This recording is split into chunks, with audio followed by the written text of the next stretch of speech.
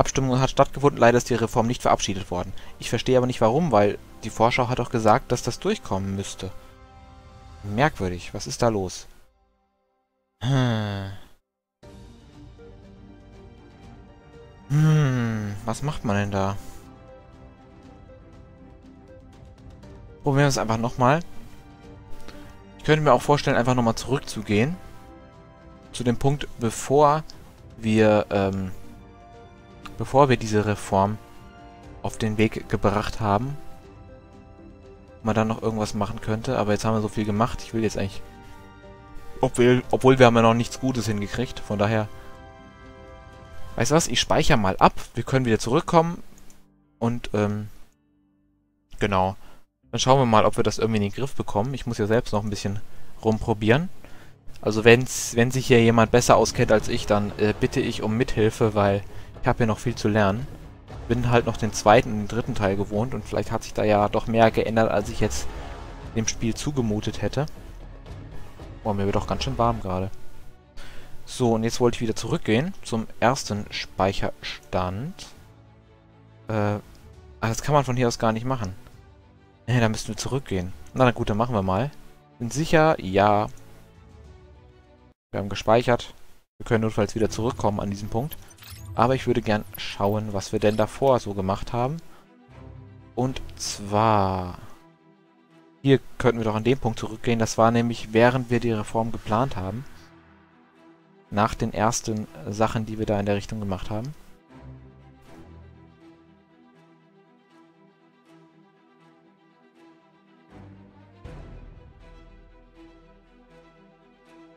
Jo. Dauert aber. Dafür sind die Zitate da, falls einem zu langweilig wird. So, das kennen wir jetzt alles soweit.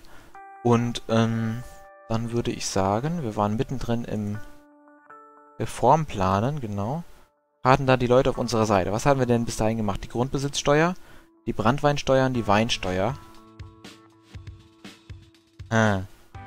Ich könnte mir vorstellen, dass wir uns mit der mit der, äh, nach mit der Fiskalkontrolle da Stimmen abhanden haben kommen lassen. Machen wir es einfach nochmal, bis auf das eine. So. Okay, 57%. Ist halt vielleicht auch einfach ein bisschen zu knapp, um das so lassen zu können. Machen wir einfach nochmal alles bis auf die Fiskalkontrolle. Und vielleicht läuft es ja dann besser. Dann lassen wir auch erstmal die ähm, Polizeisachen weg. Vielleicht haben die ja doch einen Einfluss gehabt auf diverse Entwicklungen in diesem Land. Vielleicht war es auch die ähm, Vermögensteuer, weil die auch doch einen ganz schönen Einfluss gehabt hatte. Hm. Dann lassen wir die erstmal weg. So, jetzt hier das noch. Dann haben wir doch eigentlich alles wieder. Bis auf die Vermögensteuer. Ach genau, und die, ähm, die Salz- und Fettsteuer. Ich meine, die hätte doch eigentlich einen guten, einen guten Eindruck hinterlassen. Zumindest konnte man da irgendwie alle überzeugen. Glaube ich zumindest. So. 56%, okay. Lassen wir erstmal die Vermögensteuer weg, weil da hatte ich irgendwie so ein, so ein ungutes Gefühl dabei, was die äh, Resonanz angeht. Und ja, ich lasse jetzt erstmal weg was mit dem Einladen. Ich will ja schnell an den Punkt kommen, wo wir stehen geblieben sind. Ja, die ganzen Nachrichten kennen wir schon. Es dauert leider ein bisschen, bis das geladen ist.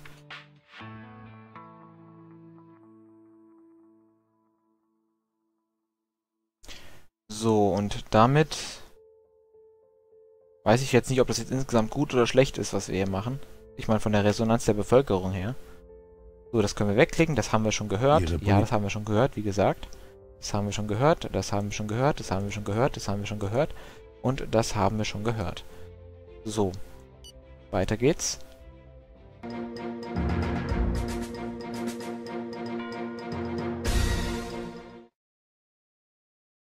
Wir haben gerade erfahren, dass derzeit Auseinandersetzungen zwischen den Ordnungskräften und der ausländischen Gemeinde wüten. Laut Augenzeugenberichten vor Ort sei eine Verfolgungsjagd zwischen Polizisten und zwei jungen Mitgliedern der Gemeinde aus dem Ruder gelaufen. Die beiden Jugendlichen hätten ein Polizeifahrzeug gerammt, das sich ihnen im letzten Moment in den Weg gestellt hatte. Die beiden starben noch an der Unfallstelle. Aha. Okay, jetzt schon wieder was passiert. Jetzt ist sogar was Rassistisches. Äh, okay. Beim letzten Mal haben wir einen Tag nichts gemacht, deswegen würde ich sagen, machen wir mal das Kontrastprogramm und machen jetzt sofort was. Stellen Leute auf. Und äh, gepanzerte Fahrzeuge. Und, äh, ja, treten mal im Fernsehen auf. Das volle Programm, bis auf den Angriff, den machen wir natürlich noch nicht. Und ich hoffe mal, dass sich dadurch, das dadurch in den Griff bekommen lässt. Und ich weiß nicht, ob das irgendwie so irgendwie gescriptet ist oder so. Ich meine, jetzt haben wir zumindest nichts mit der Polizei gemacht. Diesem Durchgang. Bin ich geneigt, das wieder zu machen, einfach um na, ein bisschen es eher in den Griff zu bekommen. Weil ich doch hoffe, dass das was bringt. So. Jetzt haben wir das hier. Genau, und dann wieder die Polizistenzahl erhöhen, wieder auf eine runde Zahl. Nehmen wir mal die 300.000 wieder. Denn ich will doch öffentliche Ordnung haben.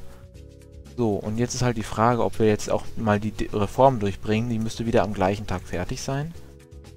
Denke ich mal. Genau, am 3.3. ist immer noch der gleiche Tag, wie vorhin. Und dann gehen wir mal zu dem Tag hin.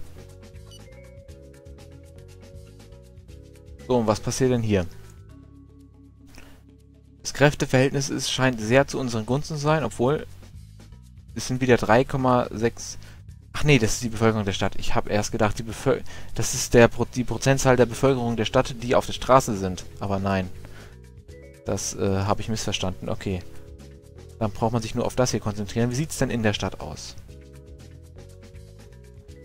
So, das sind die, ähm, die Demonstranten oder Protestanten oder was weiß ich. Und da sind unsere Leute. Damit sind sie eigentlich eingekesselt. Aber die sind an jedem Platz. Die sind trotzdem überall hingekommen. Hm. Okay. So. Dann müssten wir ja, diese Nachrichten müssten wir kennen. Der Nationalplatz, ja, ja, genau, das kennen wir soweit. Äh, ja, das haben wir auch schon gelesen. Das haben wir schon gelesen. Und genau. Wir sind wieder kaum beachtet worden. Und da ist unsere Durchsage, aber der dürfte das ja schon gesagt haben. Ich klicke das mal weg. Ich glaube, das kennen wir schon. Und, äh, genau. Und da sind aber trotzdem schon die ersten, die wieder abhauen. Mal schauen, wie sich das jetzt entwickelt.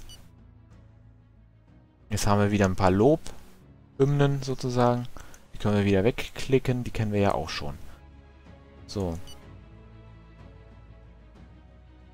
Ähm, der sagt auch wieder das gleiche, aber diese Nachricht kennen wir noch nicht.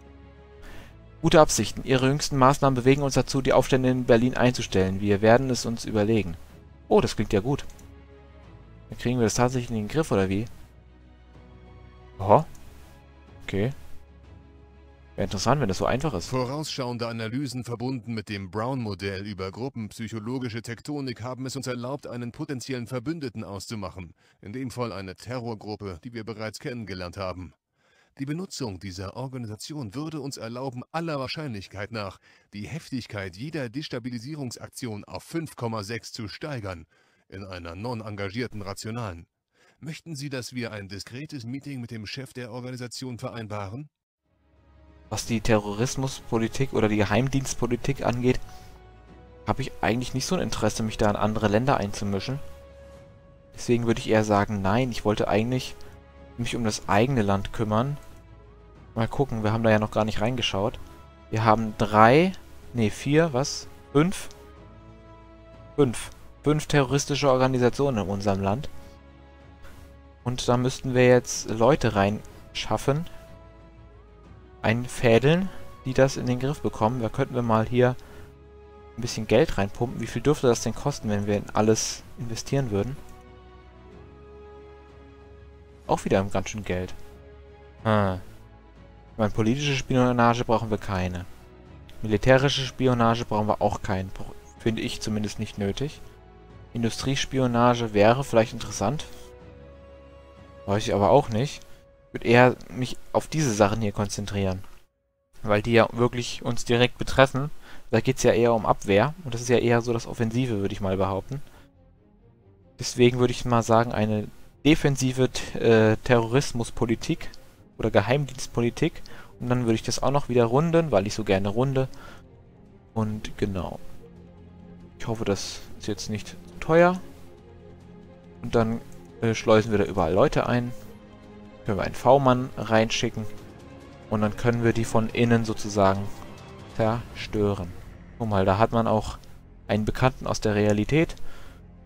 Äh, ja, mit dem man es jetzt auch hier in diesem Land zu tun hat, wie man sehen kann. So. Da haben wir jetzt überall jemanden reingeschleust, äh, oder versuchen es zumindest. Und ich denke mal, damit kriegen wir das in den Griff. Und ansonsten, ja, da hat der Chef der, des Vereins gesagt, dass sie sich eigentlich zurückziehen wollten. Mal gucken, ob das vielleicht bis morgen passiert. Äh, noch sehe ich in der Richtung gar nichts. Es sind eher sogar noch mehr geworden. Na toll. Unruhen in Berlin, erste Zusammenstöße zwischen Ordnungskräften und den Demonstranten. Die Kämpfe haben begonnen. Wir haben zwar einige Verletzte in unseren Reihen zu beklagen, doch unsere Männer nehmen vehement die, ernst, die ersten Verhaftungen vor. Die Unruhestifte werden zunächst im Polizeihauptquartier inhaftiert. Ich glaube, den Text hatten wir auch schon gehabt. Der hat doch gesagt, sie wollten sich zurückziehen, oder habe ich da was missverstanden? Hier, schon wieder. Das wird nicht gehen. Äh, das hat sie schon mal gesagt. Dann hier, erste Aufstände in Berlin. Die Bewegung steht still. Offenbar haben den Protestanten von der Gemeinschaft der Türkei ihre politischen Gesten gefallen. Und sie haben beschlossen, es somit sein zu lassen. Okay. Es wäre schön, wenn man auch mal davon was sehen würde, dass das auch der Fall ist. Auseinandersetzung in Berlin, Panik in den Reihen von der Gemeinschaft der Türkei. Das sind Auflösungserscheinungen. Die Demonstranten, Krawallmacher und sonstigen Hooligans fliehen wie die Karnickel, beeindruckt von unseren Streitkräften. Und das wollten wir ja eigentlich erreichen.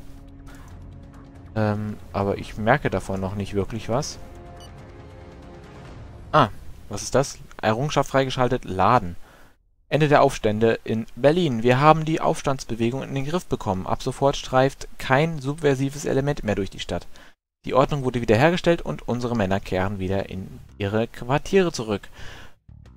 Uh, dann bin ich beruhigt. Okay. Vielleicht muss man einfach nur sofort eingreifen, sonst eskaliert das. Anscheinend. Zumindest war das der Fall hier gerade.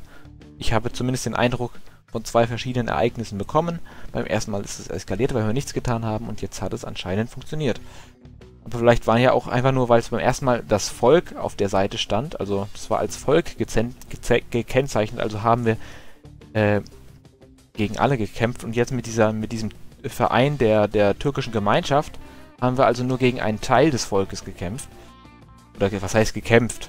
Die, ein Teil des Volkes hat nur einen Krawall gemacht. Und dann ging das vielleicht wieder leichter. Weiß ich auch nicht, ob das der Fall ist. Jetzt springen wir mal zu dem Punkt. Was, was hier?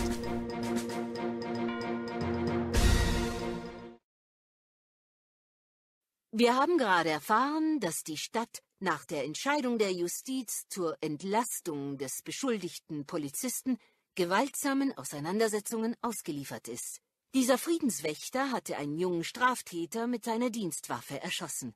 Die Jury kam überein, dass es sich um rechtmäßige Notwehr gehandelt habe und dass das Leben des Polizisten in Gefahr gewesen sei. Die Angehörigen und darüber hinaus auch die Bevölkerung des Wohnviertels, in dem der Jugendliche wohnte, sind von diesem Urteil äußerst schockiert. Dies sind nun offensichtlich die Konsequenzen.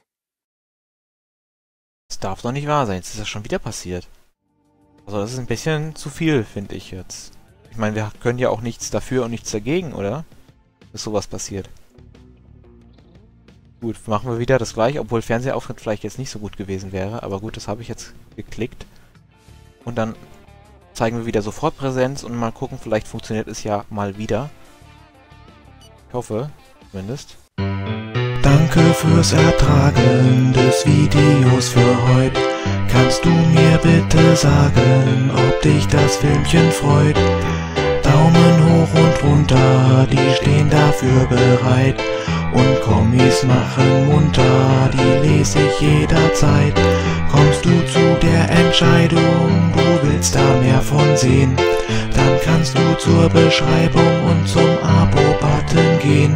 Und fandest du es scheiße, war's deine Wahl der Qual. Ansonsten gute Reise und bis zum nächsten Mal.